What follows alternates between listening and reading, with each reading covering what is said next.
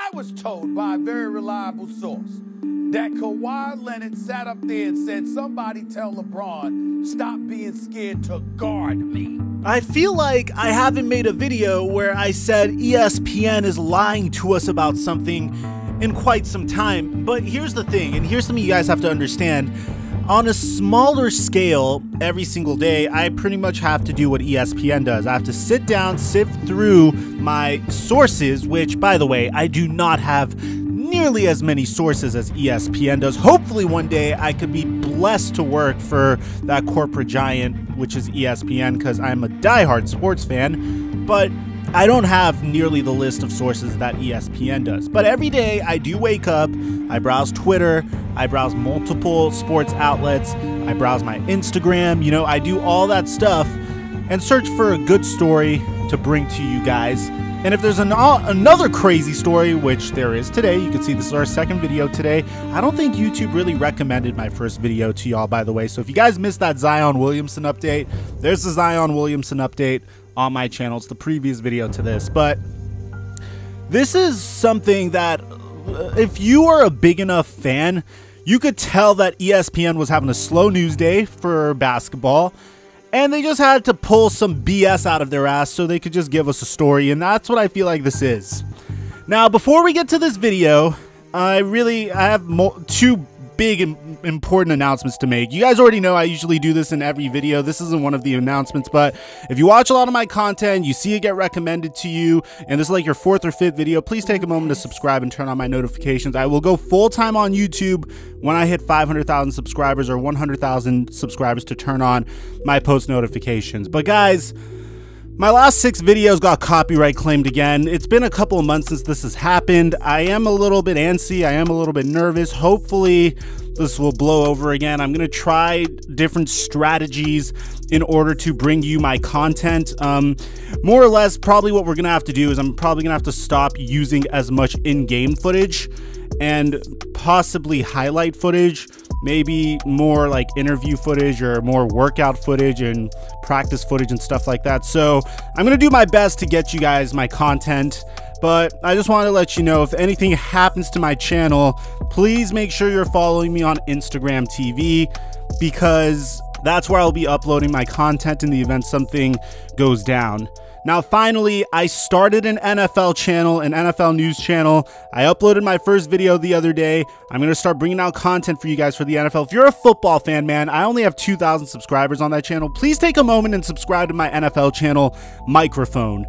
Now that that was out of the way, I apologize for that promo. When I get hit with copyright claims, man, I get scared, bro. Like, I get really scared. So I hope you all understand.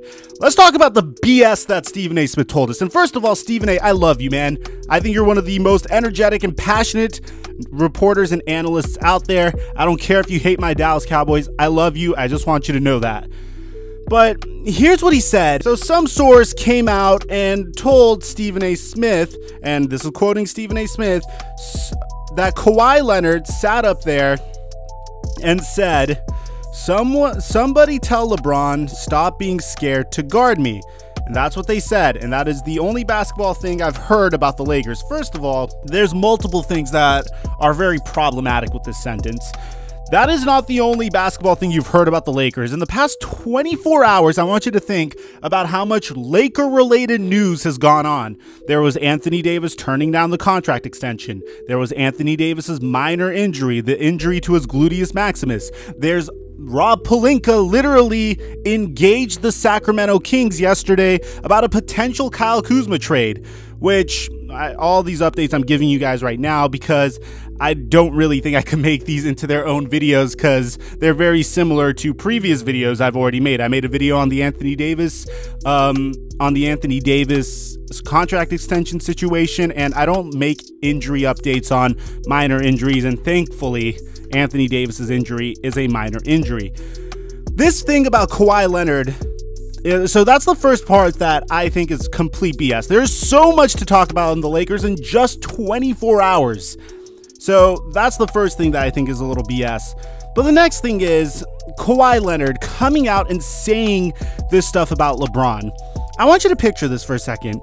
What is the context of this information?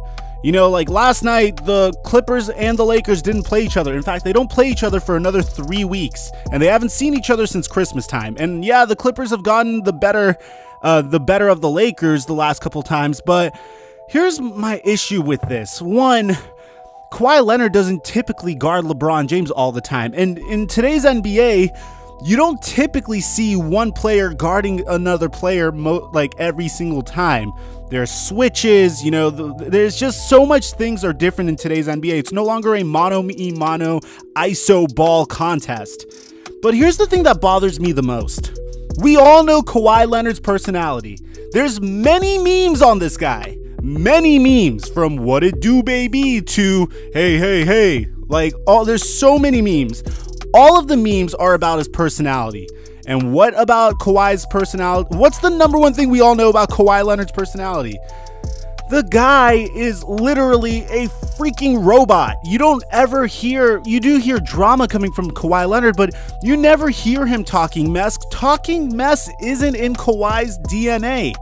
As a matter of fact, even he's so quiet that when he wanted to get a trade from the Spurs, it wasn't him that told the Spurs, it was his uncle Dennis Robertson. It's just not like Kawhi Leonard to say something like this. And guess what? Guess who's right?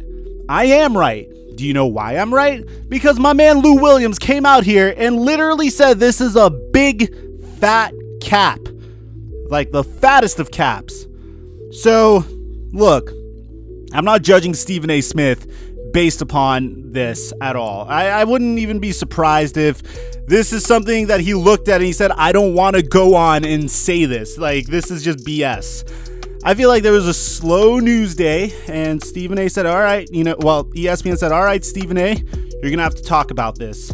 Kawhi Leonard has entered the NBA as a defensive stopper. He is blossomed into a phenomenal offensive player over the past couple years. And as a result, we have one of the best rivalries we have ever seen in NBA history. A rivalry that has seen Paul George, who was a childhood Laker fan end up on the Clippers, a player that was supposed to sign with the Lakers two years ago, and Kawhi Leonard, a player that was supposed to sign with the Lakers this past offseason, and Lou Williams, a player that used to play for the Lakers, Ivica Zubac, another player that used to play for the Lakers.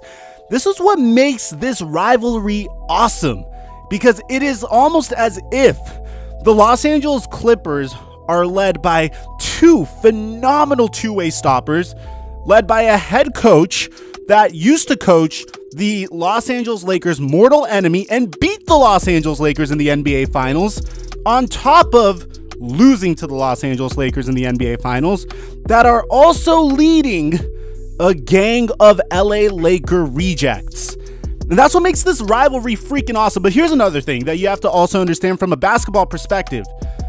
LeBron isn't scared of guarding anyone.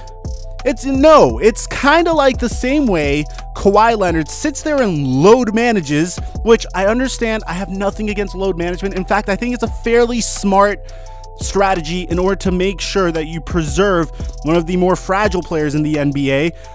And as a matter of fact, I would really appreciate it if LeBron James would start load managing as opposed to, you know, I don't know, playing when there's when they're up when the Lakers are up 30 points against the New York Knicks. I'd actually appreciate that. And then maybe we'd see less injuries like we did uh, with the one in Anthony Davis last night. But I'm digressing again, my bad. LeBron isn't scared of guarding Kawhi. Once you get to the age of 35, you are not going to want to guard anyone. You don't have the energy that you once did. You're going to be dependent upon for your offensive prowess. And yes, in the play in the regular season, you're probably not going to give the best effort on both sides of the floor. And that's not to say LeBron isn't a great defender. He's a pretty decent defender this year. He's not what he used to be, but he is a defensive presence. You're not going to want to drive it in on the six foot nine, 250 pound behemoth that is LeBron James. And he does he does give us the occasional chase down block. But dude, he's 35. When you're 35, you don't have the energy that you once did. I even if you're LeBron James, when you've gone to 8 straight NBA finals and you have the mileage on you that LeBron James has on him, you're not going to want to do any of that. So, yeah, it makes sense. LeBron isn't scared of guarding Kawhi. LeBron doesn't have the energy to guard Kawhi. It's normal. It happens. In fact, it's very, very common for star players to take plays off defensively in order to preserve themselves offensively. Now, yeah, it's a really sad and, you know, not really the greatest truth that we want to face, but it is a truth nonetheless. But regardless, this is all a lie from Stephen A. When would think about it? When would Kawhi Leonard have even said this? After the Clippers took on the like was this after Sunday when the was this after Sunday when the Clippers took on the Knicks? They're like, "Oh, you know what? I really wish LeBron would have guarded me harder when we played it when we played each other 2 weeks ago." Like it just makes no sense. This is even taken out of context.